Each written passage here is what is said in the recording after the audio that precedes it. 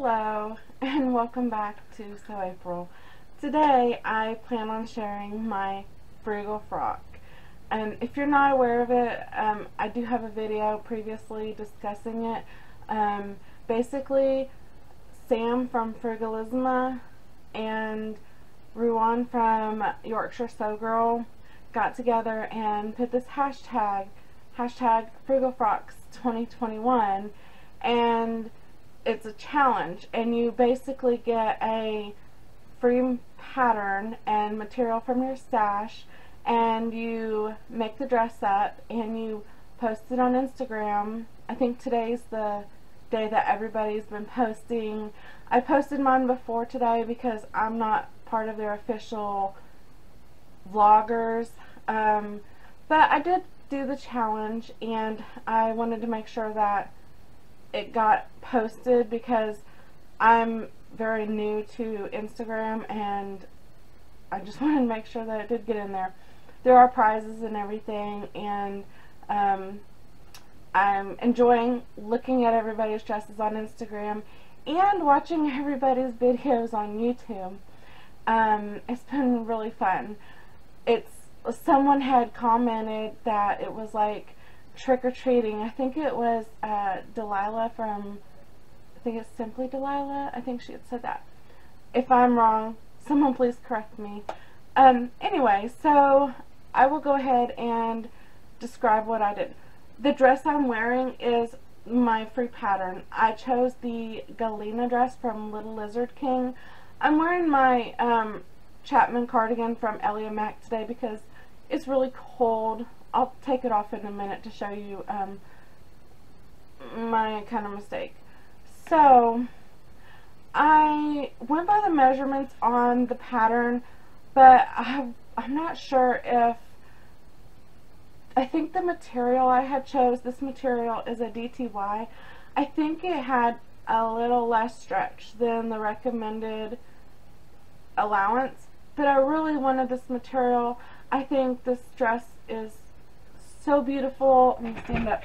The, um, oh, I'll just take my jacket off now. I love the colors of it, and I'll go on with the neckband and the sleeve band in a minute. Okay, so while I was putting it together, I looked at the pattern and I did go ahead and I went from a size 20 to a 22 and I probably should have done a full bust adjustment but didn't really want to and I haven't really done one so I don't really know what I'm doing. But anyways I usually just add to the side and add to the sleeve and I'm good. Um so what I did was I because I've never used this pattern before I put the pattern up to my mannequin. By the way, this is Joy. I named her after Joy Bernhardt, and I love her. Um, she's nice and thick like me. So what I did was I put the pattern piece, and I thought, oh no, I think it might be a little bit snug, especially with the material not having quite as much stretch.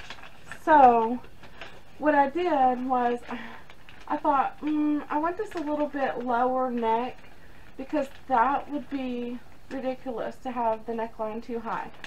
So I did not put the measurements on my pattern, so I need to do that.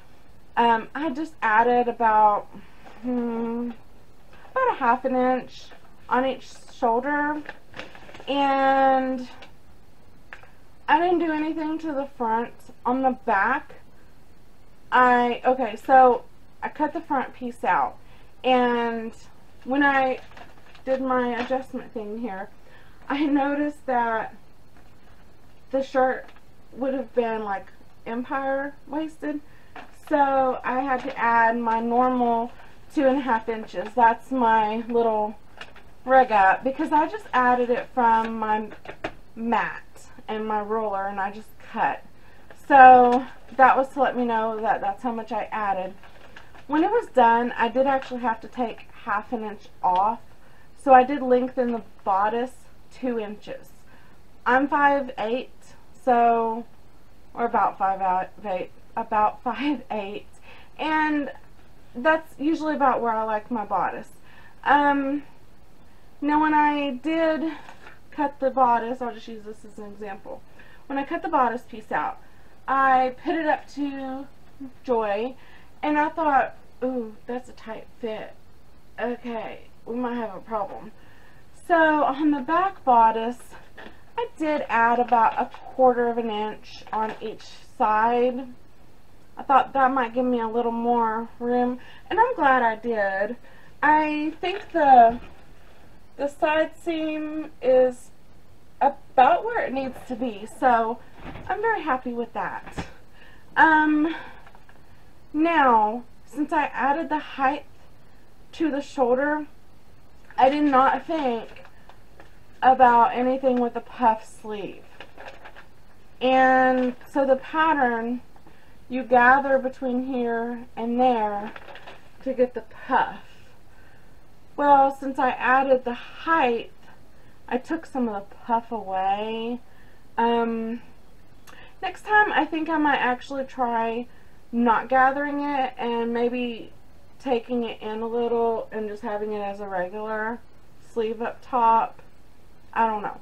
Um, and then the bottom, uh, y'all, I did not even look at the instructions.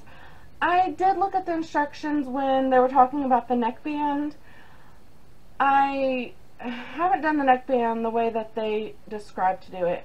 And if this material would have worked and I would have had it for the same as the sleeve, I would have done it the way the instructions said. But since I have a contrast, I thought, um, I, okay, so the way they do it is they want you to have this part sewed like that, and then you flip it on the inside and then top stitch it. Like I said, that would be fine if my um, sleeve was the same color. The I had to change the sleeve band because the material does not have enough stretch to have to work for a band. And oh, I had to go through all my material because this is more of a cream. It's not really a white. So I looked through like three or four different whites I had. None of them worked. And then I looked through my greens because I thought, well, there's like this olivey green. No, none of them worked. And then I just so happened to look over at my other shelf and I was like, oh, I have this really pretty burnt orange um, rib knit. And, oh, it worked perfect.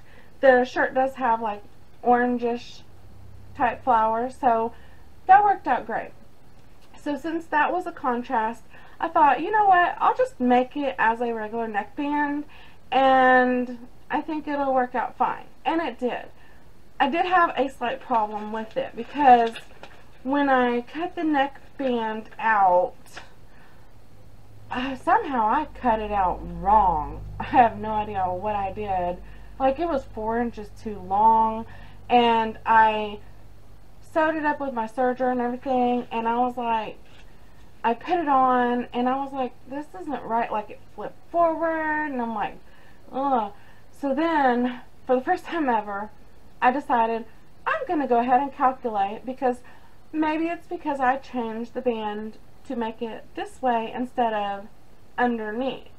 So I actually did the little calculator thing. I found one online and I was so impressed that I found one online.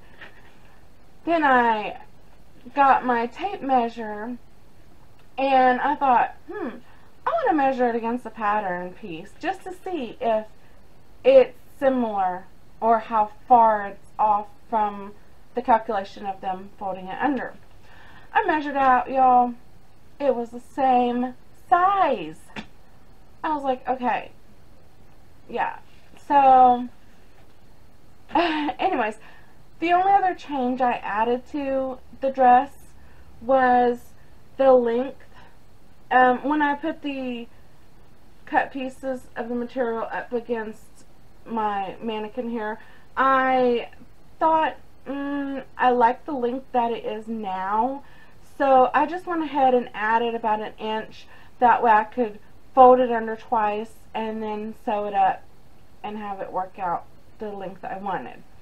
So anyways, that is the Galena dress by the Little Lizard King and it is in extended sizes. I want to thank Sam and Ruan for having this hashtag because it's always nice when you can use up stuff in your stash. I've had this material for a little while and you know, I didn't know what I was going to make with it. And it's a great summer dress now. I'm really glad that I chose the shorter sleeves and I love the contrast. I think that is really nice. Um, please go ahead and check out other hashtag Frocks 2021 um, on YouTube for the videos that everybody's talking about their dresses they made and on Instagram. So there's like a million pictures and a million dresses and I'm actually inspired by a few of them to make different ones myself. So anyways, I hope everybody's having a blessed day and go sew something. Bye.